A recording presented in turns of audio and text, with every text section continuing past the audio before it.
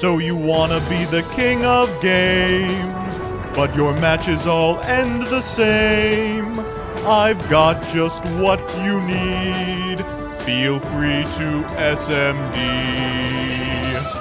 Hey everybody, Joseph Rothschild here, aka MBT, back with another episode of SMD, the quick and dirty way for filthy net deckers to no skill their way up the Master Duel ladder. Today we're preparing for the NR tournament with Flip Control. But first, this video is sponsored by Yu-Gi-Oh! Pro Deck. Looking for a place that anyone can upload Master Duel decks and get feedback from the community? Want to give opening Master Packs a try without spending real money? Want to know the gem cost of a deck before you actually commit? Then head on over to www.ygoprodeck.com. Now let's fu- Are we past the first minute? Now let's freak around with Flip Control for Master Duel's upcoming normal and rare only format. Flip Control is a deck that's not exactly Krawler, not exactly Tindangle, and held together by the glue that is Subterror Succession. It's the worthy successor to 2005's Pac-Man, 2006's Tsukiyomi Time Seal, 2016's Prediction Princess Pot of Taboos, and 2017 Trinity formats Subterror Shadow. In this slower, less explosive format, you have time to take over games with individual one-for-ones and searches, all while punishing your opponent for daring to play the few removal spells actually worth running. This deck is equal parts Krawler, playing a small suite of removal options as a pretense for World Legacy survivors and mind meld into Deus Ex, and Tindangle, playing the incredibly powerful and very recently imported to the TCG Jhrelth and Intruder to wall up, all while searching any flip monsters you want. When it comes time to turn the corner, you can do so using a card literally first printed in 2001, Summoner of Illusions.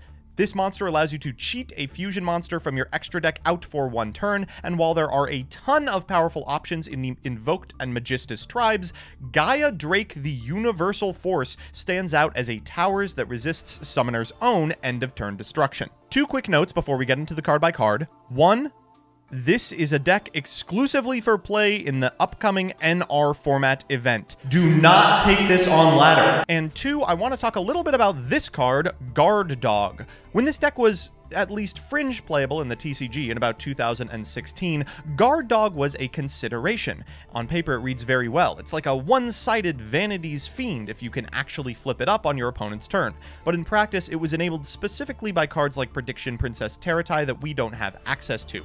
The only thing we can use to flip it up on our opponent's turn is this World Legacy Pawns, and we'd much rather be flipping up a Deus Ex Krawler or a Krawler as a removal spell. Secondly, because NR format is different and less explosive, many decks will not be performing long special summoning related combos, and as a result, sometimes this card will be completely dead. I don't think it's worth running, but your mileage may vary. So with that, let's get into the card by card.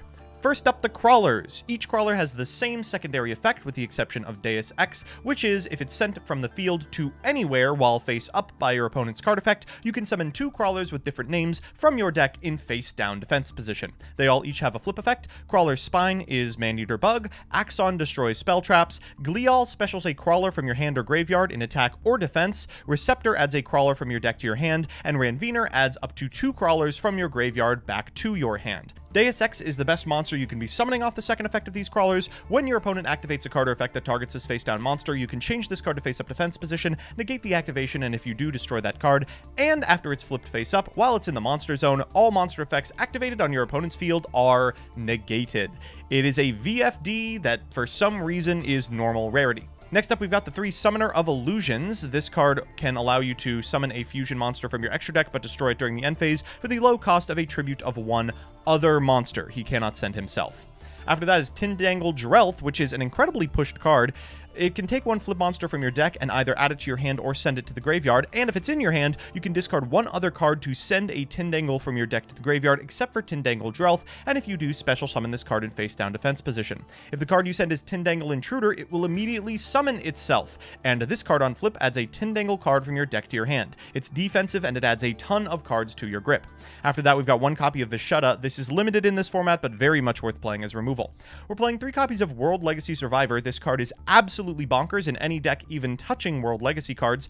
You get to excavate the top five cards of your deck. If you find a Krawler or a World Legacy, you add it to your hand, and you bin the rest. Now, if you whiff, those cards don't get binned, which is why this card wasn't played everywhere. After that, we've got some format staples, 3 MST, 3 Book of Moon, 3 Compulsory Evacuation Device, and 3 Paleozoic Dinomischus. So happy this is a rare, it's going to be great for the format. After that, we've got 3 copies of World Legacy's Mind Meld. If your opponent's monster activates an effect while you control a face-up krawler, the activated effect becomes return a face-up monster your opponent controls to the hand. Now, they do get to choose, but this is a way you can trick your opponent into triggering the secondary effect of your krawlers, even if they are unwilling to remove it with a removal spell. It's also extension if it goes to the graveyard by something like a World Legacy Survivor.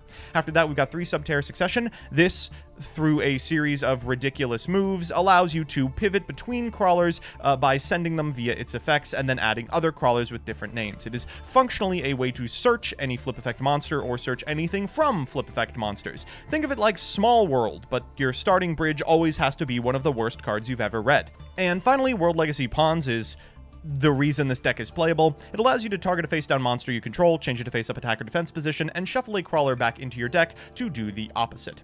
In the extra deck, we've got Invoked Raidjin, Invoked Purgatrio, Invoked Augoeides, and Aiwass. These are all mechanisms to OTK with Summoner of Illusions under different conditions, but most importantly, we have 3 Gaia Drake, the Universal Force. This is the best summon off of Summoner of Illusions, and it can be targeted by or destroyed by the effects of effect monsters, not only your own, but also your opponent's, which makes it very powerful. We're playing Crumble Logos and Cursed Javelin. Theoretically, we could make these with the three Paleos we're playing. We're playing Grampulse, Bamboozler, and Jaja. We do play a lot of three-star monsters. And then a Monk of the Tenyi for the Vishada, a Geonator Transverser. Get ready to play a lot around this. This is a format staple, and one Berserker of the Tenyi to Ooga Booga hit hard. So with that, let's check out a game.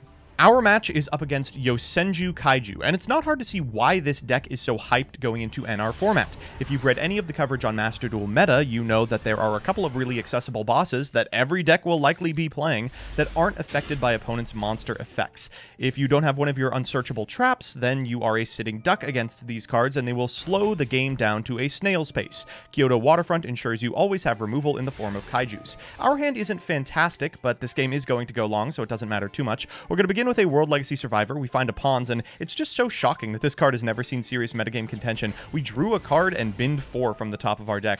Our opponent will go Kama 2 into Izna to draw a card. At end step, we're going to activate Pawns to flip up the spine that we set, destroy their Kama 2. That Kyoto Waterfront's still at 2, so they can't search. We'll go for Survivor here, and unfortunately, you are seeing why it never saw serious metagame contention. We whiff here, and everything just goes to the bottom of the deck. Ah, Vishada, maybe later. We'll go for Pawns next. We're going to shuffle back the Receptor. Probably should have done that first to set down the spine. We'll banish this copy of Waterfront. It resists destruction, not banishing. We'll send a copy of Intruder, and it's time to get the Ranvener train rolling. We'll pawns to flip up our copy of Spine, then we will Subterror Succession to go for a Receptor before flipping up on our turn this copy of Ranvener to get the Spine back. We draw the Mind Meld, so we want this Ranvener to remain face up. We'll attack into our opponent, who activates one of their many Battle Faders. They will tribute over our set card for a Kaiju. We will Mind Meld on the effect of their Kama 3, then Chain Pawns to tuck down our Radiance, so the only monster they can target with the now rerouted effect of Yosenju, Kama 3 is our Ranvener.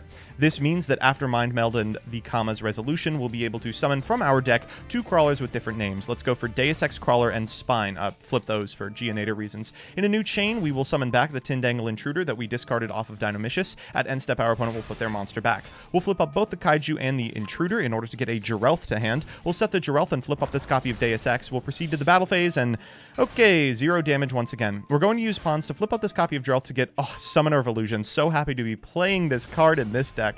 Our opponent's going to go for Kama 2 and then chain Torrential so it will resolve even though Deus Ex Krawler is on the field. We're going to chain the effect of Pawns, so at point of resolution, this Torrential will destroy the face-up copy of Spine. This means, after everything is said and done, we'll be able to activate the effect of Spine in Graveyard in order to summon from our deck two different krawlers. Now, we are pretty low on krawlers, so we'll take what we can get here. Uh, a Glial is really good, and an Axon is only okay.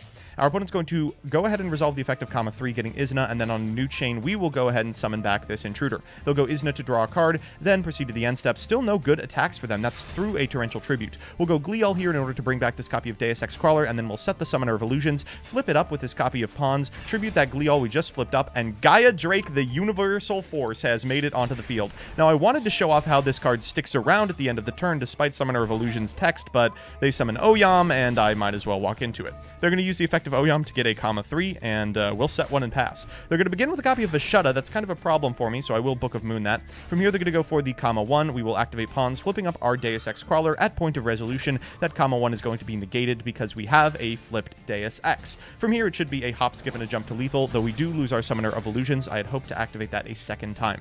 We draw for turn. Let's begin with a copy of pawns. We're going to shuffle this spine back into the deck to flip down the intruder. Learned our lesson from last time. Let's go for Survivor, and rewarded. There's the spine first thing. Oh god, we actually a ton, including a Vashutta here. That's definitely game. Uh, we're going to take the spine, normal summon a Jhrelth, and then link summon a copy of Geonator Transverser to take our opponent's set copy of Vashutta. We'll flip up the Vashutta and then activate Mind Meld in order to summon from our graveyard a Glial to the link point of the Transverser. We'll summon back the Intruder here as well in face down defense position before making a Berserker of the Tenyi. From here, we can activate the graveyard effect of our own Vashutta to bounce the remaining Yosenju and get in for exact lethal.